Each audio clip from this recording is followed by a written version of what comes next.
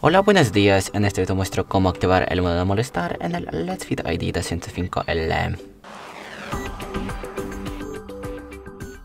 Pues bueno, lo primero que tienes que hacer es obviamente encender tu reloj y después de eso deslizar hacia derecha. Hacemos así y aquí como es tenemos el modo no molestar que se encuentra aquí. Simplemente una vez pulsamos y el modo no molestar está activado pulsamos otra vez el modo de molestar está desactivada.